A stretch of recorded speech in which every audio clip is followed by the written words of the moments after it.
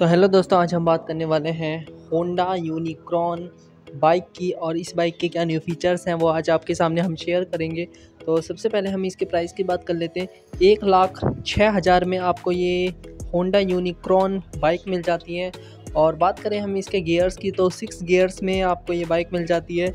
इसकी seat height की बात करें तो सात सौ अट्ठानवे मिलीमीटर आपको इसकी सीट हाइट मिल जाती है। इसके माइलेज की बात करें तो 50 किलोमीटर पर आवर का आपको ये माइलेज प्रदान करती है। बात करें हम इसके फ्यूल टैंक की तो 13 लीटर की आपको इसकी फ्यूल टंकी मिल जाती है। और इसके हम कर्व वेट की बात करते हैं 140 किलोग्राम इसका आपको कर्व वेट मिल जाता है। और रियर व्हील में आपको ड्रम ब्रेक मिल जाते हैं। और आगे वाले व्हील में आपको डिस्क ब्रेक मिल जाती है, पीछे वाले व्हील में आपको ड्रम ब्रेक मिल जाती है। व्हील टाइप की बात करें तो एलॉय व्हील मिल जाते हैं इसमें आपको। ओडोमीटर की बात करें तो एनालॉन्ग है। पावर की बात करते हैं तो बारह पॉइंट इक्यानवे पी एस से सात हज़ार पाँच सौ आर पी एम तक का जो इसका इंजन है वो पावर डेवलपमेंट करता है। और इसमें आपको स्पीडोमीटर भी एनालॉन्ग मिल जाता है टैकोमीटर भी एनालॉन्ग मिल जाता है आपको। इसके टॉर की बात करें 14 एन से 5500 आरपीएम तक का जो इसका इंजन है, वो टॉर प्राप्त करता है। इसके इंजन की बात करें, एक सीसी का इसका आपको इंजन मिल जाता है। सिलेंडर की बात करें तो एक है वाल पर सिलेंडर की बात करें तो दो है बोर एज स्ट्रोक की बात करें तो सत्तावन पॉइंट तीन मिलीमीटर से तिरसठ पॉइंट वन मिलीमीटर इसका बोर एज स्ट्रोक है। इसमें हेडलाइट में आपको एलईडी बल्ब्स मिल जाते हैं।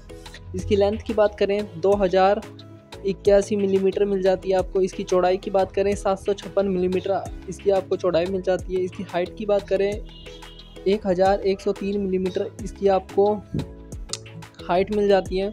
इसके व्हील बेस की बात करते हैं तो एक हज़ार तीन सौ पैंतीस मिलीमीटर आपको इसका व्हील बेस मिल जाता है।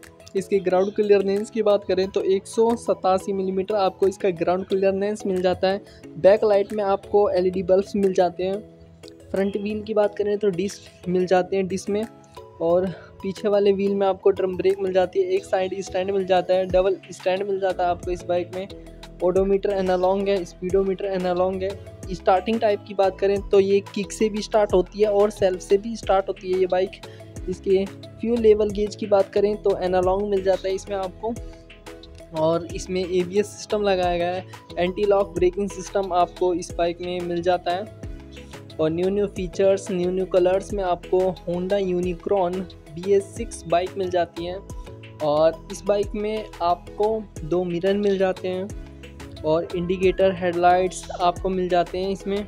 और बात करें इसके माइलेज की तो 50 किलोमीटर पर आपको माइलेज मिलता